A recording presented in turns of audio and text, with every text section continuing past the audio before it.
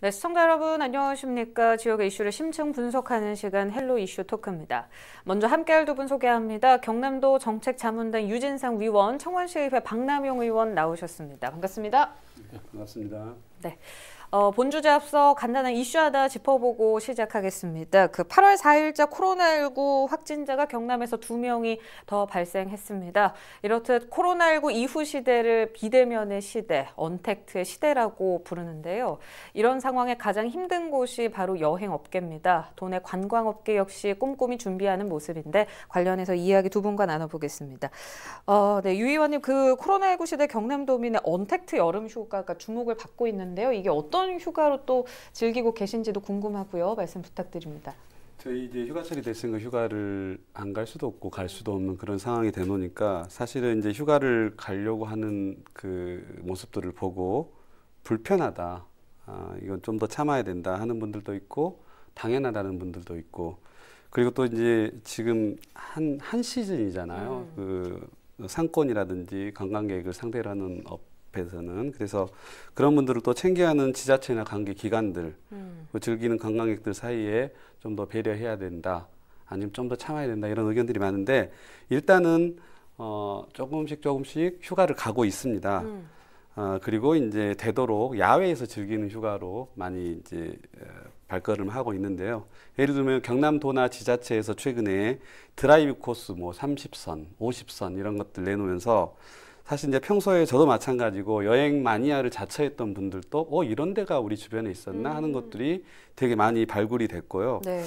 어, 상당히 놀랄만한 장소들도 많이 있었습니다. 음. 그래서 이제 그런 것들이 많아지면 많아질수록 관광지 밀도가 낮아지기 때문에 굉장히 호평을 받고 있고 그리고 이제 어, 근거리 멀리 안 가고 머지않은 곳에서 즐기는 휴가 이런 것들이 유행을 하고 있는데 음. 어, 하나 예를 들면 지자체나 시민단체 또는 지역구 뭐 시의원들 중심으로 자발적으로 자기 동네에 있는 하천을 가꾼다거나 음.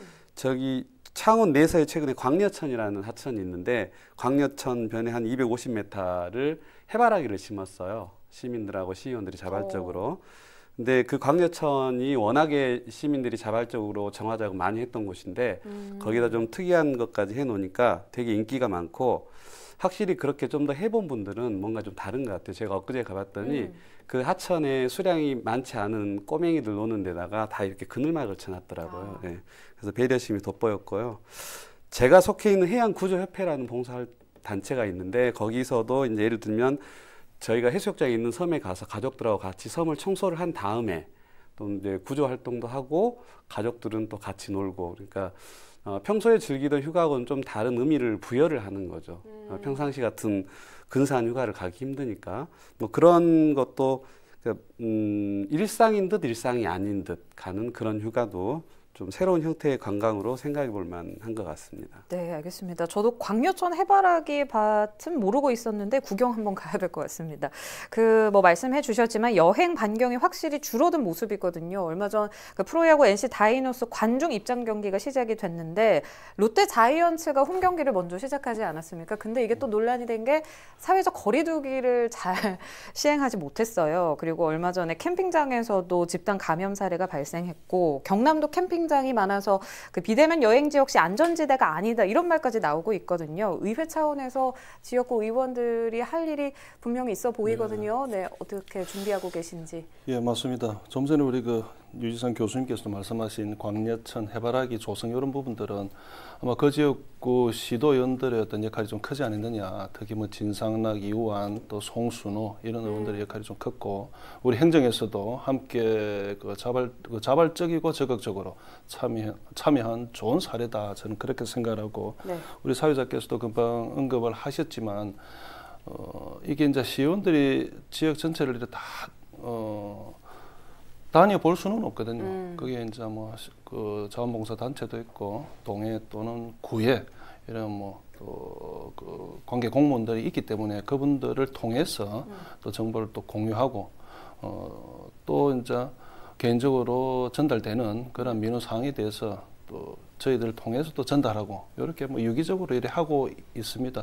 다행히 얼마 전에 뭐 지금 전국적으로 좀 비가 많이 왔지만 우리 창원 지역이나 마산 창원 쪽에서는 마산 진해 쪽에서는 그래도 어, 걱정할 만한 피해는 없다 하는 음. 부분에 고맙게 생각하고 우리 뭐 특히 제가 이제 살고 있는 감정이나 성주동 이런 쪽에도 구석 다니면은 좋은 어, 물놀이 공원이라든지 장미 공원이라든지 또 기업 사랑 공원, 뭐 창원 수목원 이런 데도 있고 우리 진해, 창원, 마산 원거리보다는 가까운 음, 근거리에 어, 정말 걸어 다닐 수 있는 그러한 환경의 어떤 여행을 올 여름에 계획한다면 좋지 않을까 그렇게 생각을 합니다. 아무튼 뭐 저희들도 시에서 또 시의회에서 안전한 그 휴가가 좀 될 수 있고 코로나 19로 좀 침체된 그런 상권도 살릴 수 있는 가장 그 지역 상권도 살릴 수 있는 그런 부분들로 같이 병행해 나가도록 노력하겠습니다. 네, 어깨가 더 무거우실 것 같은데 앞으로 잘 부탁드리겠습니다. 예, 네, 이렇게 지자체나 관계기관, 여행업계 노력 또 도민들의 성숙한 전염병 예방 의식이 돋보이는 안전한 여름 휴가 되기를 바라겠습니다. 네, 이제 본 주제 토크로 본격적으로 들어가 봅니다. 지난 7월 23일 정부와 여당의 의대 정원 확대와 10년간 의사 인력 확대 발표가 있었습니다. 여기에 창원시를 비롯한 관계처들의 의대 유치 노력이 가시화되고 있는 한편 지역 의사회는 반대의 목소리를 높이고 있는데요. 무슨 내용인지 짚어보겠습니다. 네, 유 의원께서는 지금 창원대 교수세요. 그래서 이번 관련 사항 더 유심히 지켜보실 것 같은데 일단 이게 선거철마다 나오는 대표 공약 아니겠습니까? 저희가 이슈 토크에서 다룰 때 그 당시에는 이게 좀 가시화되기는 힘들 것으로 보인다, 가능성이 낮다 이렇게 얘기를 했는데 지금은 또 상황이 조금 다르다고요. 네. 정부 여당이 지난 15년간 동결한 의과대학 정원을 확대하고 공공의대를 설립하겠다는 방침을 밝혔습니다. 어, 가장 큰 변이는 결국 코로나19였겠죠.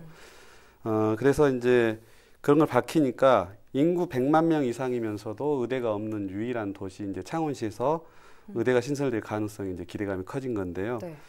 20일 당정과 지역 의료교에 따르면 당정청은 이제 정부가 2022학년도부터 10년간 4천 명 그러니까 1년으로 치자면 1년에 400명씩 의사 정원 늘려가지고 어 조금 더 공공의료를 확대하겠다는 방침을 밝혔는데 그게 이제 정부의 의대 정원 확대 및 공공의대 설립 추진이란 자료에 나와 있습니다.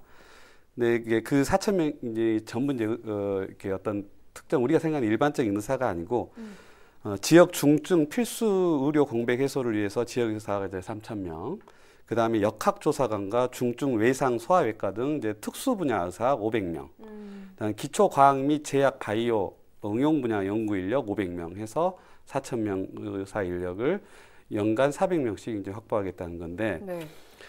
이제 광역 지자체 단체 17곳 중에서 유일하게 의대가 없는 곳이 전남입니다. 전남은 사실 어, 오래전부터 준비를 했고 거의 이제 확 실시되는 분위기고 음. 근데 이제 코로나19가 이제 그 종결될 기미가 보이지 않으니까 네.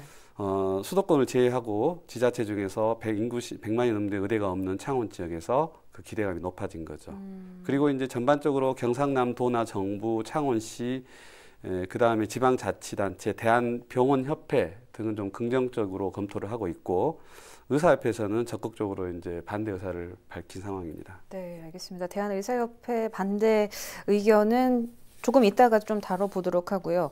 어, 박 의원께서는 지난 6월 31일이었습니다. 창원시의회에서 창원대 의대 유치 건의문을 발표하셨잖아요. 네.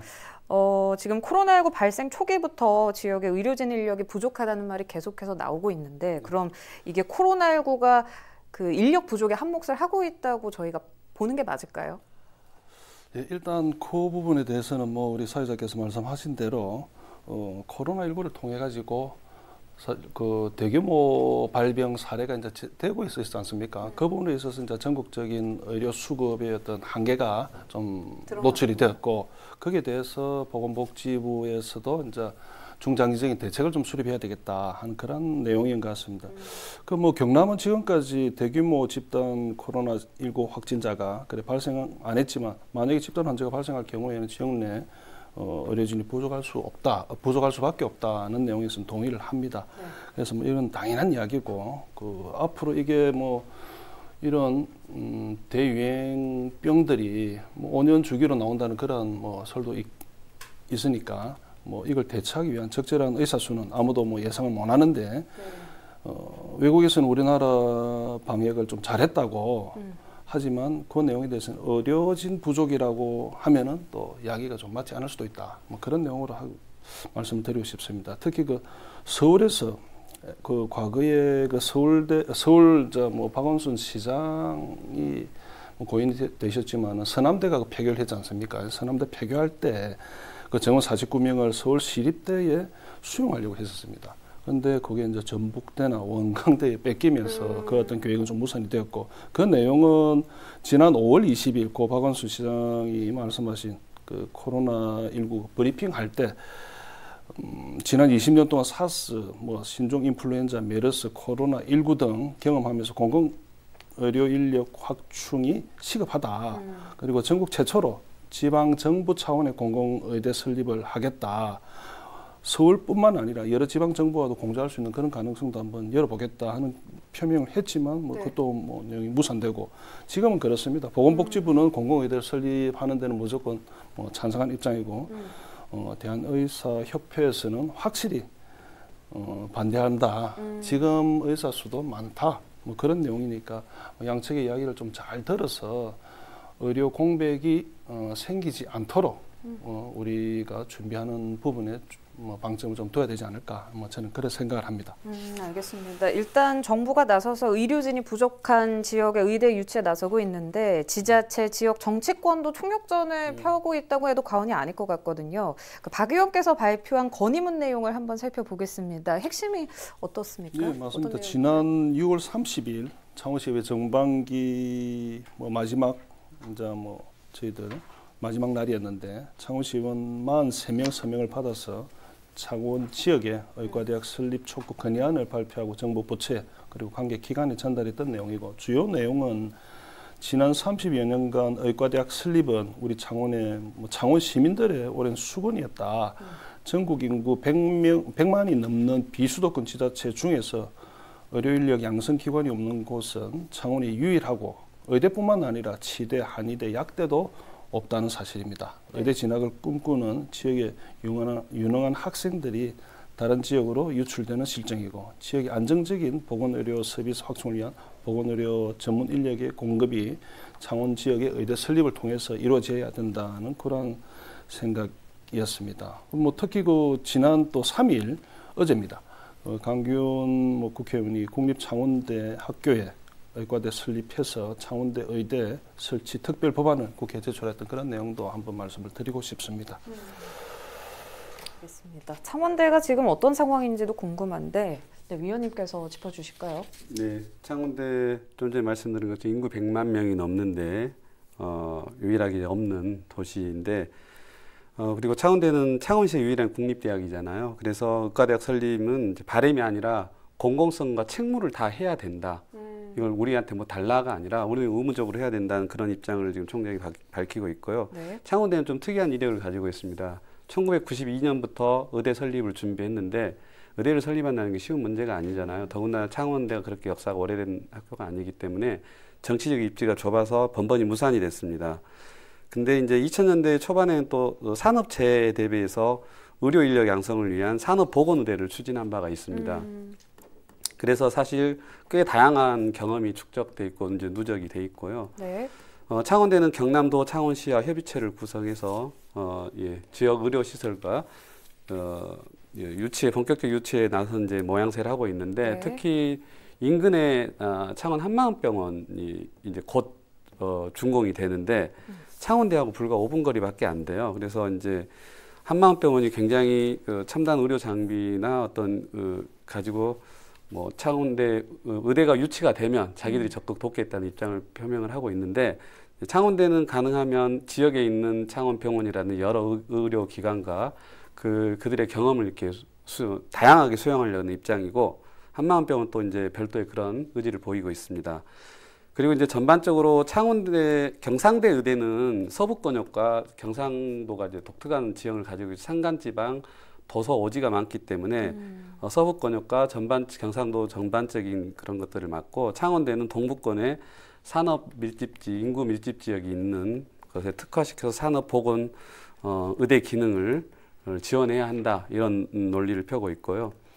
지금 경상남도에는 경상대 입학 정원 76명이 유일합니다. 그래서 숫자로 보면 좀 아마 시청자분들 놀라시 그거밖에 안 돼 하고 놀라셨을 텐데 그게 왜 그러냐면 어, 인제대도 있지 않아? 하고 많은 분들이 물어보시는데 인제대 캠퍼스가 부산에 있습니다.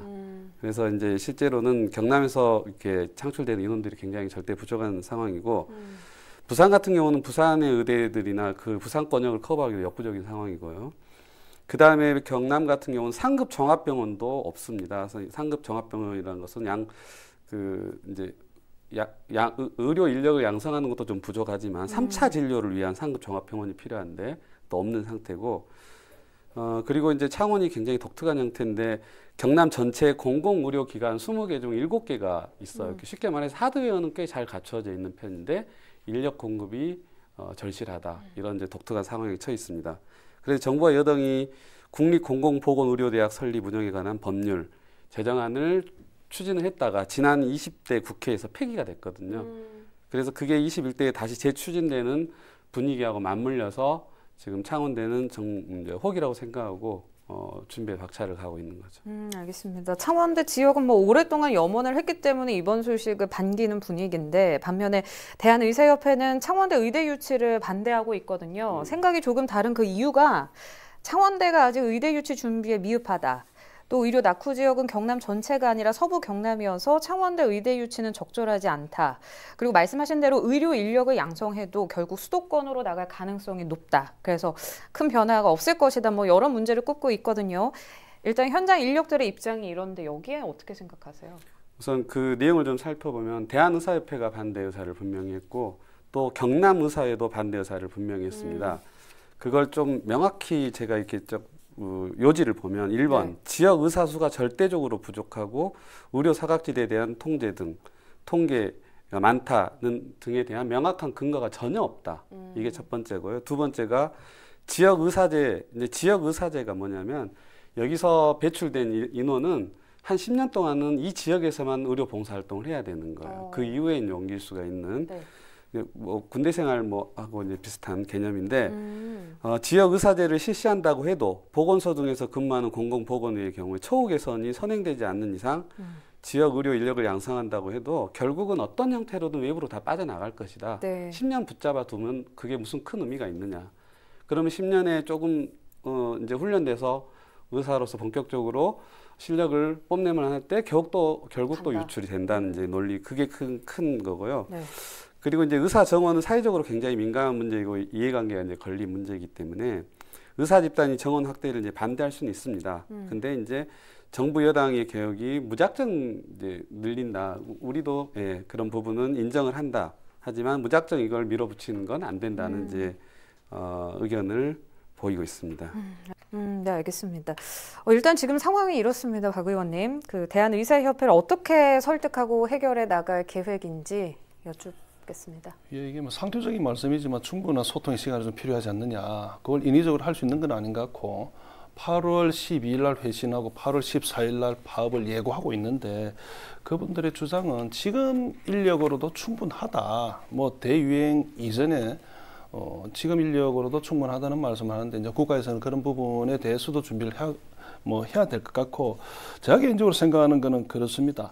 지금 의료 수가의 어떤 현실적인 부분 이게 이제 지방과 어, 수도권과의 차이 좀 차이를 둬야 되지 않을까. 그래서 동일한 그 의료비를 적용받아 가지고 서울에 가서 진료를 한다는 것은 맞지 않다. 그래서 이제 지방에서 사명 감염만 호소할 게 아니라 지방 의료 수가를 좀 현실성 있는 조정이 좀 필요하지 않느냐. 그것도 국민의 비- 부담으로 전가되겠지만은 그 부분은 어 하여튼 어 설득 가능한 그런 논리를 가지고 접근해야 될 부분들이 있고 지역에서 나고 자란 유능한 그 의료 인력들이 지역에서 그 정주 여건 그살 수 있는 정주 여건 문화 환경 뭐 의료 교육 이런 인프라들을 지방자치단체에서 조성하는 것도 지역 그 지방자치단체의 어떤 책무 아니냐 그렇게 생각을 한다면은 그러한 부분들이 수도권이나 서울 집중화는 일부 좀 막을 수 있지 않을까 그렇게 생각을 합니다. 예, 네. 그래서 그런 내용을 담아서 의사협회하고